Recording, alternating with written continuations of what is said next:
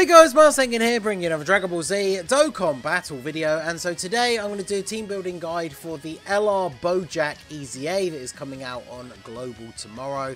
Uh, technically, I guess it's tonight in certain places in the US. It's the morning for me in the UK. Uh, I will be live to stream the EZA, uh, finally back from holiday, so can finally live stream again.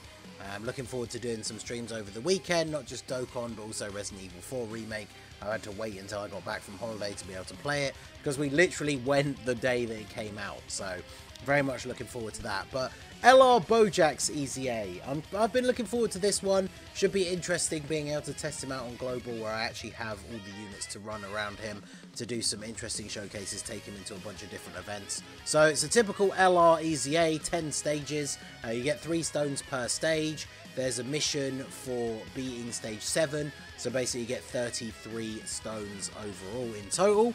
And then just like any LREZA, legendary power link being active is how you do the most damage to the boss. So the more LRs you have, the more damage you do, the quicker you will be able to get through, uh, tear through his health bars. And then like a normal EZA, the specific category is for the units that will actually be able to defend well against Boujack. So for Boujack is Entrusted Will. So what that means is any non-entrusted will units are going to take lots of damage, especially near to the end, um, and any entrusted will units will obviously take a lot less. Any LRs are able to deal damage, so you can technically just go ham with all your physical LRs. You just have to remember that if they're not on Entrusted Will, they will take huge damage, uh, especially in the later stages. So bear that in mind. So Entrusted Will is a bit of a weird category. Uh, we have the AGL Trunks as the lead.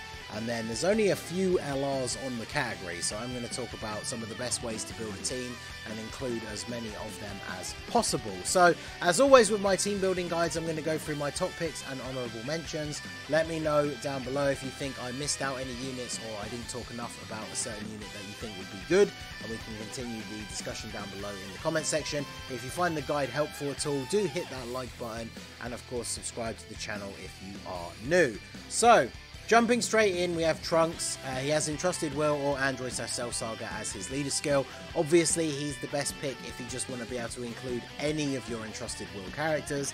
This means you could technically just run this guy and then run all of your Entrusted Will LRs and then you know they're all going to fit under his leader skill, right? He's not the best unit for like an EZA, but as the leader there to provide the leader skill, um, you know, he's not a slot one unit, but you quite easily float him off. He gets his additional attacks. Um, you know, he can still do reasonably well. He's just obviously not built for this kind of event, but because his leader skill is going to cover essentially any of the units that you might want to bring, then of course he is going to be a solid pick. Now, I do think a really good choice for a leader can be this guy as well, Super Saiyan Goku. Uh, the Namek Goku, Legendary Existence, or Super Saiyans. There are a lot of Super Saiyans characters on Entrusted Will, and then there's a couple on Legendary Existence as well. So you can quite easily make a team out of this guy. Obviously, it helps that he's an LR, so the more LRs the better, get Legendary Power active. If he's taking a hit in slot 1, he gets a guaranteed additional super. If he's in slot 2 or 3, you still have the chance to get an additional super. So this guy can do pretty well. Um, I would use him on the team even if he's not the lead. He can definitely put out a pretty significant amount of damage. Uh, next up, we have the AGL LR Gohan. Obviously, has his EZA now on global. He leads Kamehameha or Super AGL. Uh, you can fit a lot of LRs onto this team as well that are on Entrusted Will, and then obviously you can fill out the rest with either Kamehameha units that are physical um, or any other Super AGL units that are Entrusted Will. This guy can obviously be very good for an EZA because starting out on full HP, he's going to have guard. Um, he can get his additionals, he can build up a little bit. You're not going to be able to transform in this event unless you bring an android on the team, which is kind of awkward because none of them are on Entrusted Will. So probably not the best idea to gimp the team by bringing an android that can get absolutely decimated just to try and get the transformation with Gohan. Although, of course, if you do, the turn you transform, you pick up a ton of orbs, you're probably just going to one-shot Boujack. So, you know, maybe it'll work, I don't know, but I probably wouldn't advise it personally. Um, now, next up we have this guy. I think this is probably your best choice for a lead for this if you don't want to use AGL Trunks, right? Because The leader skill for the STR Goku and Gohan is Super Saiyans or Goku family.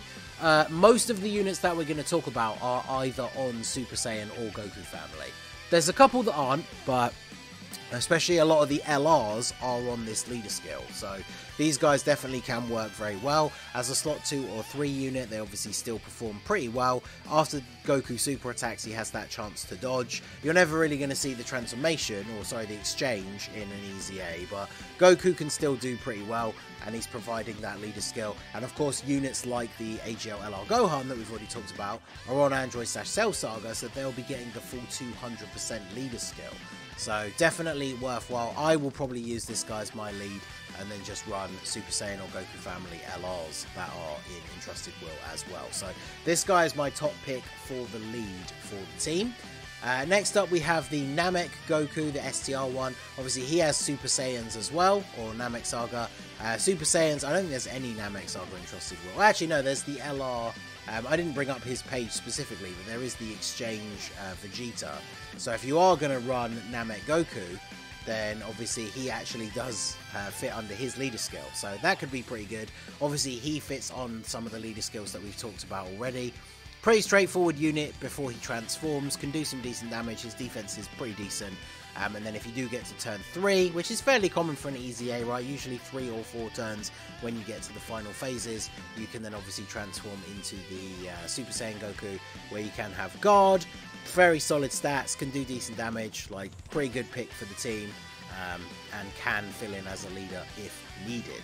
Then we have this guy. So this guy's probably my top pick for LRs for this event if you can fit him under the leader skill because of course he is physical so he's on the category he's got type advantage he's actually I mean I guess he's a bit outdated now when we talk about the more difficult content but for an EZA where he has type advantage and is in the right category he will be very good right if you've got legendary power active get that uh, 12 uh, 18 key super and he's going to be able to do a pretty significant amount of damage uh, so Bardock definitely a top choice fits on the leader skills of a few of the units that we've talked about for the leads. So this guy definitely is a very solid pick.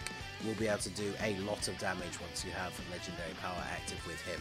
Next up we have Int Super Saiyan 2 Gohan. So because he starts as Super Saiyan 2, obviously you can use him at the same time as the AGL one because you can't use same name units in an EZA. Uh, he is also on Android slash Cell Saga, so if you want to run that STR Goku and Gohan, he's getting the 200% leader skill from them. Um, his EZA was pretty underwhelming even on release, but in terms of for an Extreme Z battle event, which obviously isn't the hardest, he will still be very good. We'll be able to do a lot of damage, and obviously we want as many LRs as possible so we can get legendary power active. So this guy definitely can be very good. Uh, post super attack, especially if you've picked up um, a decent amount of orbs, you can do good damage, and he's got good defense as well. So next up we have some non-LR picks. We have the physical Gotenks. Uh, the only reason I picked this guy realistically is because he is physical. He is on the Super Saiyans category, so he's on a few of the units that we've talked about uh, leader skill already. Um, so he can be pretty useful. You can't seal in an EZA past the first couple of stages. Actually, in an LR one, can you seal at all? Yeah, you can seal in the first two stages, and that's it, right? So not going to be uh, doing a lot of sealing, but He's got good links. He fits on the teams, on the category. You know, he can be there as uh, a floater if necessary. At least he has type advantage where he'll be able to tank some hits. Not the best unit, obviously, but can still be pretty useful. This physical Super Trunks with his EZA is pretty decent as well. He starts off with his full stats. He just has attack and defense 200% does supreme damage, raises attack and defense for three turns, so if you get a couple of additionals, he can do some, you know, good damage while stacking up his defense a little bit. So just another solid unit. The Super Trunks and Super Vegetas count as being on the Super Saiyans category as well, um, and on Android slash Cell Saga. So this is another unit that gets the full 200% leader skill if you are running STR Goku and Gohan. So he can definitely be a solid pick for a non-LR. Uh, then we have this physical Ultimate Gohan, another unit that is on uh, Goku Family as well as Entrusted Will, so he's on uh, a few of the leader skills. Decent links like All in the Family for that extra bit of defense. He's on Kamehameha as well if you want to run the AGL Gohan. So this guy, another decent pick for type advantage.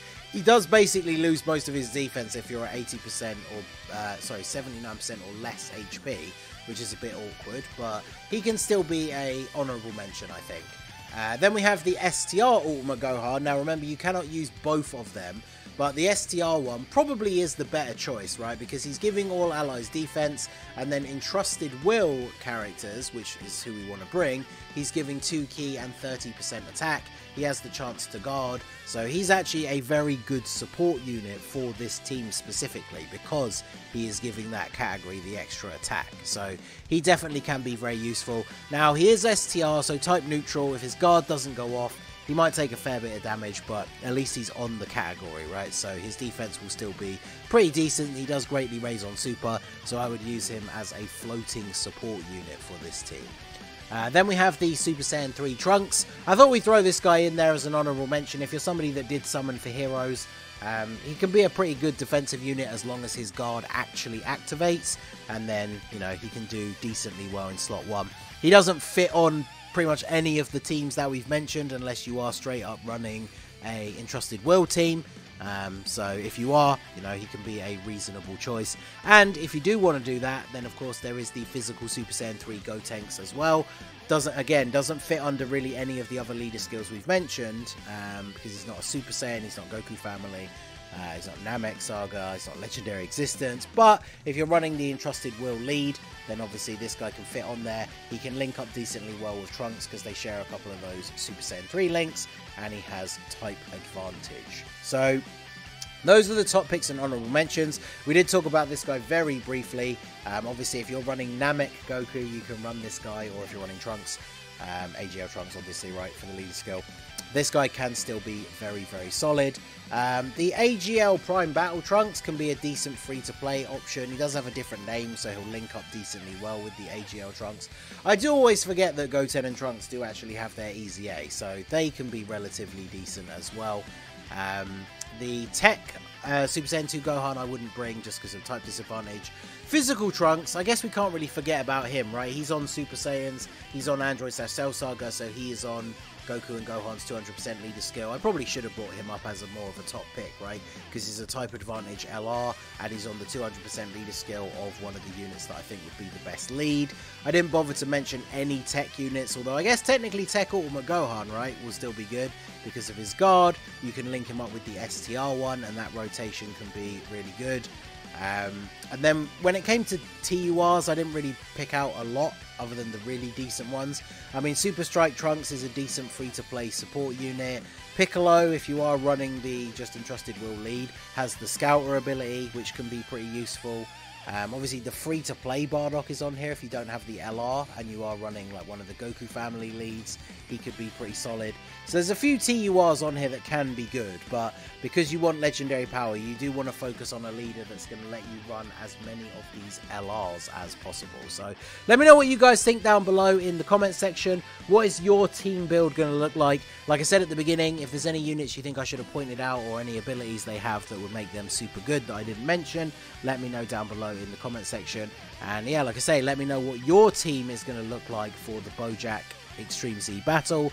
Like I say, I'll be live. Hopefully, I'll see you guys there. It'll be my first stream from coming back, so very much looking forward to it. Finally, going to have the face cam back again.